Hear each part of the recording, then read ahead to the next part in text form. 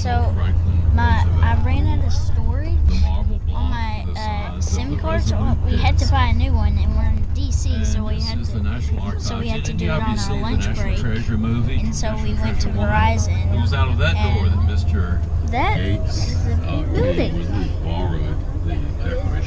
All right, we're going to the Capitol building, and we're uh, they're they're gonna let us tour it.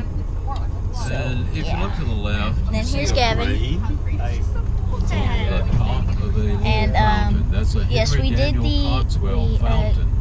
We toured Dr. the uh, became very, very wealthy. Ro- uh, Franklin teeth, he was the Roosevelt dentist, but Memorial, and there are like four mine different rooms because And each he room spent several uh, million did every dollars single putting up these like each fountains. room each was one four years of his designed. presidency.